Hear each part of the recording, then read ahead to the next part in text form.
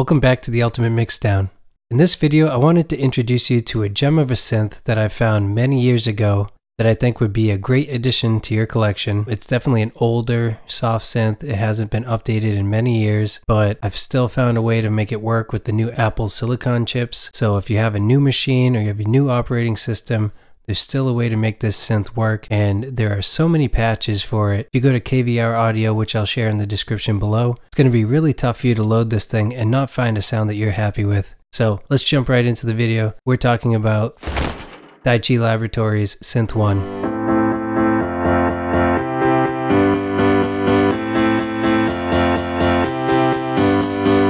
Now the first thing is I'm going to show you how to do a fresh install, especially if you're using, again, an Apple Silicon chip like the M1 or the M2 or any of the Pro versions. Now in the past you would go to your browser and you'd go to KVR Audio. And for those of you that don't know KVR Audio, this is an excellent resource for plugins. Plugins, samples, banks, patches.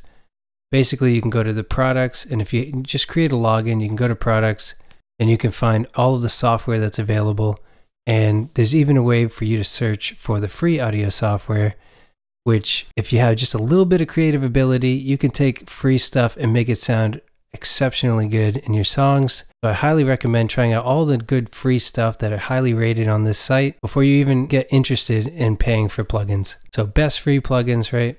And look at Synth One is number one on KVR Audio's best free plugins. So let's click on it. Okay, and the old way that you would install it is by clicking the download link for Windows next to Windows or for Mac next to the Mac version. This is going to bring you to an old archive site, not maintained as well. There is an updated page. Again, put the link in the description below. And this is the page that we have here, translated to English. This gives you all of the information you need. You have what is the synth one. It gives you all of the, the number of oscillators. It gives you how many notes polyphonic. It gives you all of this information. It tells you which operating environments it works for. In this case, I'm going to be using Mac. If you're a Windows user, follow the information for the Windows environments. So just scroll down to download. This is where you're going to download it for any type of Mac, whether it's Silicon or Intel chips. And then they even give you a few patch presets too. But as I mentioned before, you can go back to KVR Audio and just take a look real quick before we download this. If you go to downloads, you'll see all these banks, patches, and presets. All of these things are free. Now you, have to be careful. You want to make sure that they're rated well. You want to make sure that they've been tried and tested. As with any software that you download from the internet, do your due diligence on what you're looking for, on what you're downloading, and what you're trying to install on your machine. Right, you can see certain things are downloaded X number of times. They have a certain rating. These things will help you make sure that you're not downloading something that's just plain trash or something that could be malicious. Okay, but just look at all of these patches and I have so many of these already installed on my machine. So let's get back to the download. Click your download link of choice for your operating system. Okay, and once the download is complete, you can click here and you can click on the zip folder that was created. In this case, I'll just go to my downloads folder and show you what's there. If you double click, it's going to open the zip file and all you get for Mac users anyway is a component file. It might be a VST for those that use Windows, but in the component file, you need to bring this to your plugins components folder on a Mac. And this is the same again for Intel or Silicon chips. Windows, you would put that VST in, in whatever library VST that you have on a Windows machine. So to do this, let's bring up a new window and we'll go to our Macintosh, basically a hard drive library, audio, plugins. Okay, so that was quick. So let me do that again and I'm going to do it in column view. So we're on our hard drive, Macintosh HD, library, audio, plugins. Okay, and here is where you're going to put the plugin. For Macs, it's going to be components. It's going to components. Okay, I already have it here, but you would just drag it from the downloads into the components folder. And voila, you have it installed. But it's not that easy. So the first thing you're going to hit with when you open Reaper or whatever DAW that you're working in is the developer cannot be verified for this plugin.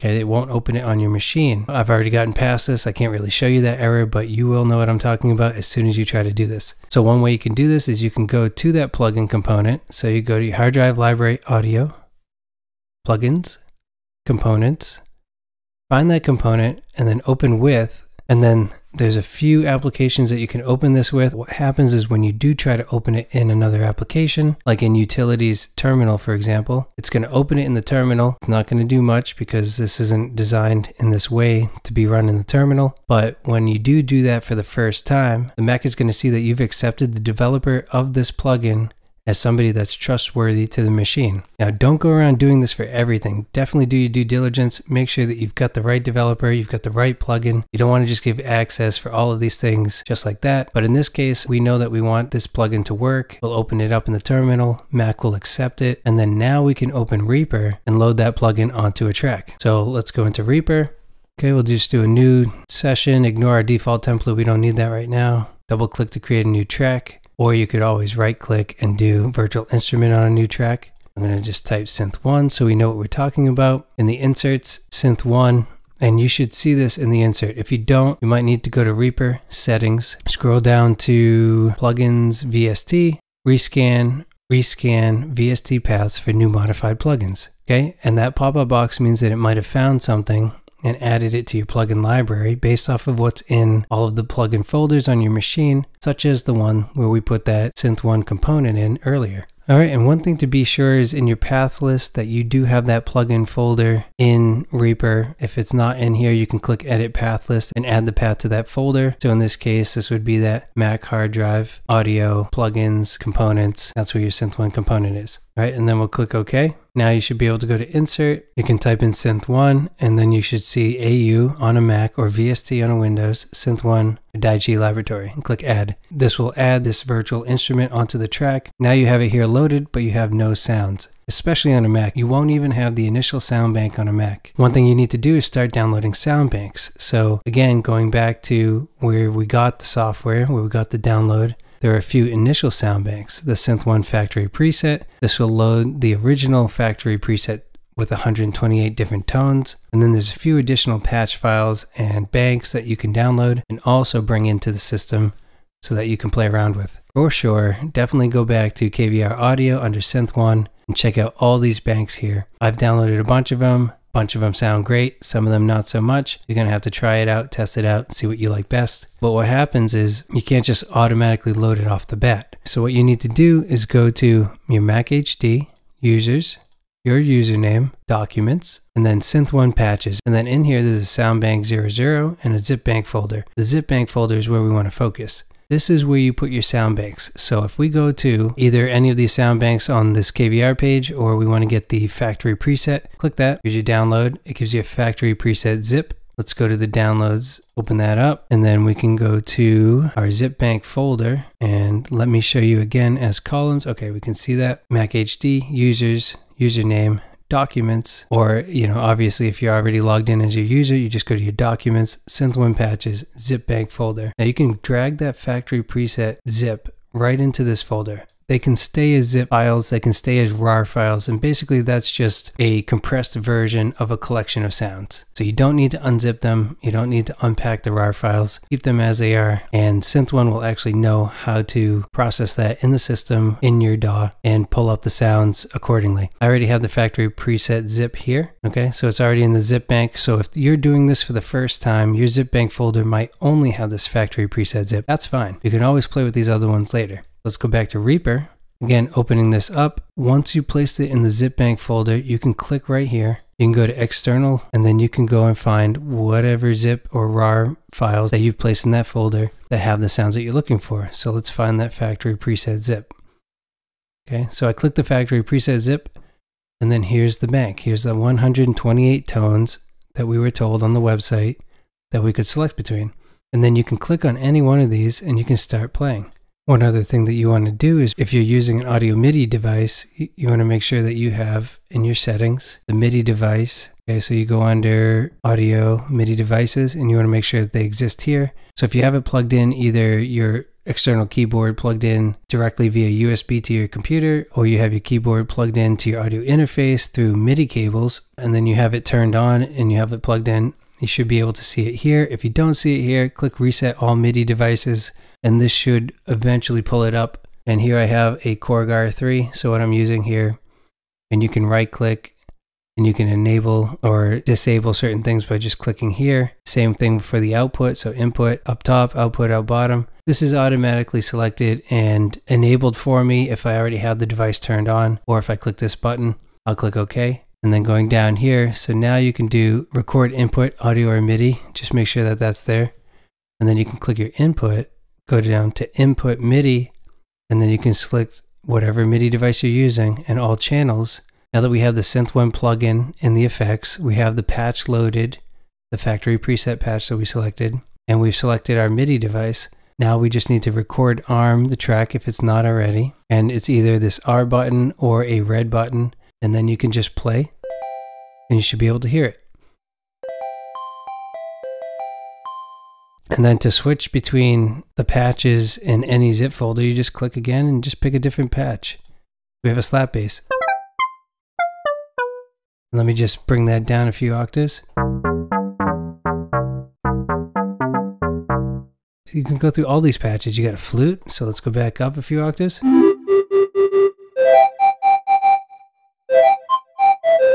And this is just the factory preset zip. So let me click on this again all of these other zip and rar folders I've gotten from KVR Audio. These are all different developers or users coming up with their own patches and banks that you can use. So we can just do like this filter 303 sound bank. I'm just going to pull off and I'll just pick this pad.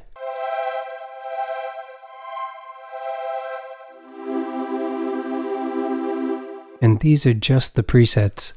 On top of that, you have, like I mentioned before, you have the two oscillators, you have an LFO, you have arpeggiator, you can change your voices. Its default is 16, but you can go up to 32 different polyphonic voices. You have tempo delays, you have choruses, you have an EQ so that you can EQ different frequencies, different ADSR filters, attack, decay, sustain, release, for those who are unfamiliar. But you have all of this flexibility, so you can take any one of these patches. So you go again into here, You've gotten all these different sound banks. They already sound good off the bat, at least the ones that you've identified from the patches that you've downloaded or the banks that you've downloaded. It sounds great, but then you want to add just a little bit extra, craft it to your own sound. Whatever you're looking for for your song, you can just go in and start dialing in these effects. And there's plenty of tutorials online that can teach you how to do this stuff in different synths. I know it looks intimidating, honestly, I don't even mind just bringing in the presets and then I'll throw in some delays, choruses, or other effects. I'll put on EQs if I need to, whatever it is to make the sound my own. It doesn't have to be in this synth one UI either. You can put on ReaDelay, you could put on ReaEQ. All right, so you can start using Reaper plugins to affect the sound that's coming out of this plugin. A lot of the stuff that I've just been talking about with this synth, you can do with any software synth right? All these software synths, they have their own parameters that you can adjust to change the sound. They have their own patches, their own banks, their own presets, all these things. And that might just be enough. It might be enough to just use the preset or the patch or the bank that you've loaded. Try them all out. Find the stuff that you like and build songs around it. One warning I want to say about this, aside from doing your due diligence on the banks and patches, this is an old piece of software. This beta is from back in 2021. It was not designed for the Mac Silicon chips. This is just a way to make it work on any given Mac, and so far I see it working on my M1 Pro. You do need to be careful, right? Make sure you save your projects often. Certain patches might not work. And again, because it's being an old piece of software and it hasn't been updated in recent years, this may not last forever. So, whatever projects you're building with this stuff, it's definitely worth bouncing down your songs, bouncing down the sound, or whatever synths you play, whether it's a melody or chords or anything like that. Definitely a good idea to store that as an audio file. This is not future proof, especially if the developer is inactive or isn't coming out with updates regularly. But I just wanted to show everyone this synth. In the future, I'll be doing more videos like this. If you like this video, let me know. Hit the like button. Be sure to subscribe for more videos like this. I love talking about free plugins because honestly, I've made so much music with free plugins. You definitely need to try this stuff out, especially if you're just starting out to get new sounds, new tones, new creative ideas. Thanks again for joining the Ultimate Mixdown. I can't wait to see you in the next video.